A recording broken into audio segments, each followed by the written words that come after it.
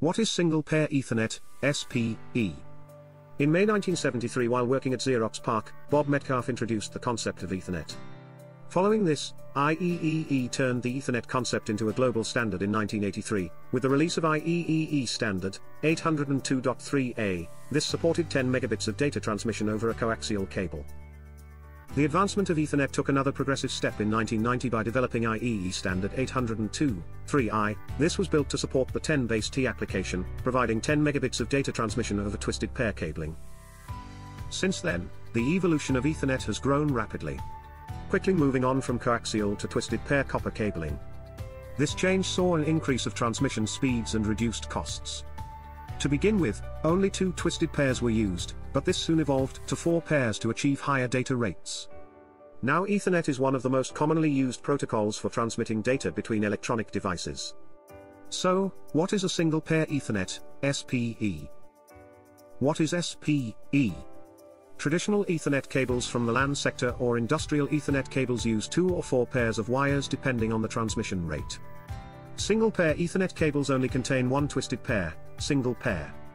Single twisted pair cabling was first used in the 1870s, instead of having two straight wires next to each other, the conductors were twisted together to improve the electrical performance. The twisting of the conductors resulted in the cancellation of unwanted electrical noise from nearby pairs or other sources. In the 1870s, single twisted pair cabling was used to interconnect telephones. Centuries later, the single twisted pair cabling is still in use. The use of this cable is now commonly found in building automation, industrial, and automotive applications. SPE offers additional advantages in comparison to the traditional cable. SPE advantages 1. Thinner bending radii. 2. Smaller cables. Saves material and costs. Great for weight and space saving designs.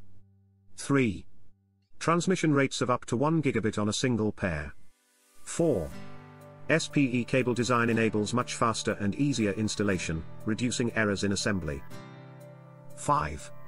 Single pair Ethernet uses PODL to supply terminal devices with up to 50 watts via the data line. 6. Lower caloric load, less smoke development. SPE power delivery.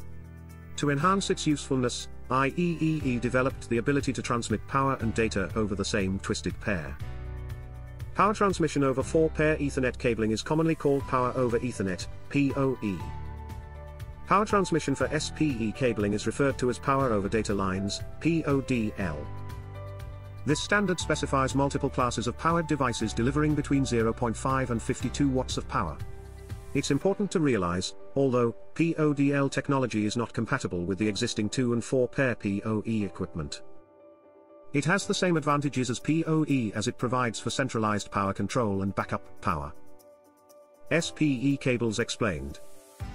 Single pair Ethernet cables are built to support maximum frequency that corresponds with one or more IEEE applications.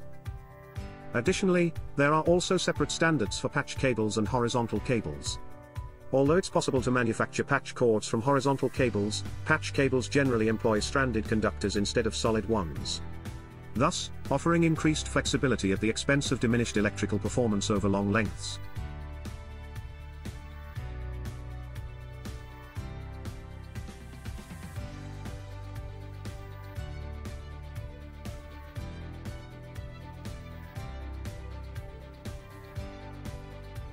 SPE connectors explained. The interfaces discussed in the IEC 63171 standards for connector types 1 to 6 are open sourced, allowing any manufacturer to make connectors with the interfaces. As a result, this will increase the likelihood of broad industry adoption. Manufacturers maintain the common interface. However, they have innovative freedom. They can implement proprietary features in other areas of the connector design.